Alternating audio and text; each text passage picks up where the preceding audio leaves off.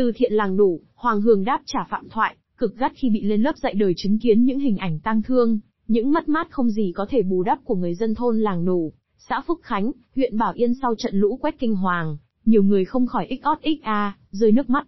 Ngay lập tức, những chuyến hàng cứu trợ với tinh thần tương thân, tương ái, lá lành đùm lá rách, của hàng triệu trái tim trên khắp mọi miền Tổ quốc đã hướng về làng nủ để tiếp sức, cho người dân vùng lũ vượt qua khó khăn. Nổi bật phải kể đến Phạm Thoại và Hoàng Hường. Cả hai đã đến tận nơi để tìm hiểu và kêu gọi cho người dân.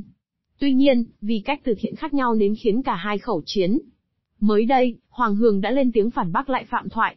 Cô nói, mày bỏ 15 đến 20 tỷ có không? Hồi xưa thì được chứ giờ làm ăn khó khăn lắm. Thôi im đi, phước ai nấy hưởng. Cái làng này tao kêu gọi không còn sót một ai. Mày thấy có mấy tỷ cái giật lên đúng không? Mấy tỷ này nó có ăn được đâu. Mấy tỷ này là chia đều cho hàng xóm nó. Mày giật lên vụ thằng Phúc làm cái gì? Đâu phải có mình thằng Phúc đâu, ở đó ai tao cũng giúp được tê yển tỷ hết. Trước đó, Phạm Thoại từng lên tiếng tố gia đình cậu bé tên Phúc cố tình tỏ ra đáng thương, giấu nhẹm chuyện được Hoàng Hường giúp đỡ để nhận thêm tê yển từ anh. Chưa hết, anh chẳng ẩn ý không thích cách làm từ thiện của đàn chị Hoàng Hường. Phạm Thoại nói trên livestream, mọi người nói rằng, làm từ thiện như chị Hoàng Hường là chuyển khoản vào từng tài khoản cá nhân, thì em xin phép như này. Đầu tiên em không muốn vì có người nhận một tỷ, người 2 tỷ, có người nhận được 200, 500. Nhưng ai cũng mất nhà, gia đình như nhau.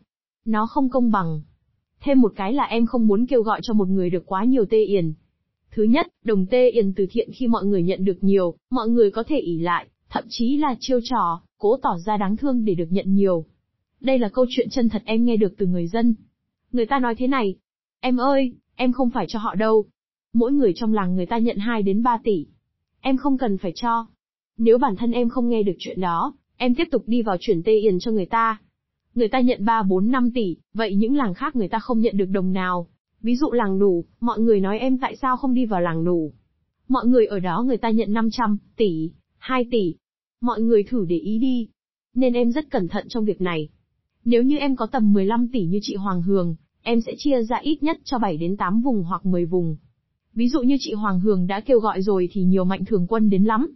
Mọi người có đồng tình với em về gia đình của bé Phúc. Mình không bé Phúc hay chị Hoàng Hường sai.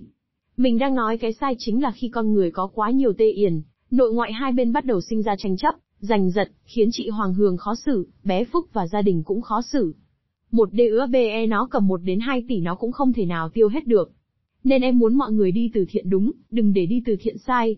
Vừa qua, Phạm Thoại cũng bất ngờ công bố sẽ ủng hộ thêm 5 tỷ đồng cho đồng bào bị ảnh hưởng do bão số 3 và lũ lụt vừa qua.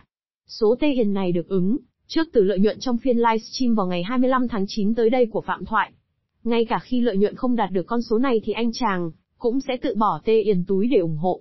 Về lý do, Phạm Thoại cho biết có xuất phát điểm rất vất vả nên hiểu, và đồng cảm với những người có hoàn cảnh khó khăn, bản thân em xuất thân từ nghèo khó nên em hiểu, và đồng cảm với rất nhiều hoàn cảnh khó khăn đặc biệt những người đồng bào vùng cao. Mỗi lần em đến với một địa phương hỗ trợ bà con, em cảm nhận được tình cảm và niềm vui khi họ được trao quà, cũng giống như gia đình em thời xưa chỉ cần được mạnh thường quân gửi túi quà, bánh kẹo, đường, sữa là biết ơn lắm rồi. Ngày em trở lại với công việc chân tay em cứ bứt rứt và cảm thấy thiếu thốn. Sắp tới đây em chuẩn bị live, em còn không có tâm trạng live chỉ mong bản thân giúp được bà con nhiều hơn. Vậy nên sau 25 chúng em lại tiếp tục lên đường giúp đỡ bà con.